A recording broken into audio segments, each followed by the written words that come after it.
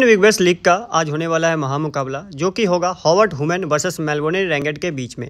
दोस्तों, जिस पिच पे ये मैच हो रही है, वो लोएस्ट स्कोरिंग पिच में गिनती आती है, एक सौ पे ही पूरी टीम निपट जाती है। तो जब आप टीम क्रिएट करना तो जितना ज़्यादा हो सके बॉलर चूज़ करोगे और राउंडर चूज़ करोगे तो आपके लिए फ़ायदे होंगे।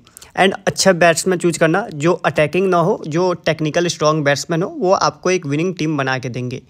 यहाँ पे रिजल ली को मैंने यहाँ पे एज अ विकेट कीपर के सेक्शन में लिया है। बैटिंग सेक्शन में Harmanpreet Kaur, Ellyse Villani, then Tammy Beaumont.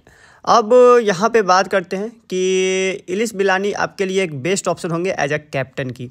Allrounder में हैली मैथ्यू, जो कि बैटिंग बॉलिंग दोनों करते हैं, H Graham, then G Wareham.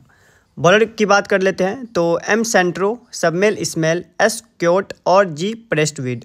दोस्तों, जी प्रेस्टविड की बॉलिंग लाइनअप बहुत अच्छी रही है और एस क्योट ने भी लास्ट टाइम में अच्छी बॉलिंग की थी।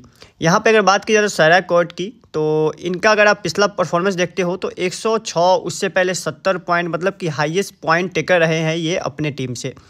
कैप्टन वाइस कैप्टन की बात कर लेते हैं तो हैली मैथ्यू को मैं कैप्टन ग्रहम को as a vice captain but आपके पास कुछ ऑप्शन भी अवेलेबल है, जैसे कि रिजर ली या फिर टेमी ब्यूटमैन हरमनप्रीत कौर ये सबको आप ट्राई कर सकते हो। कैप्टन मैं हैरी मैथ्यू ग्रहम को एज अ वाइस कैप्टन बाकी मेरी टीम ये रही। मिलते हैं नेक्स्ट वीडियो में।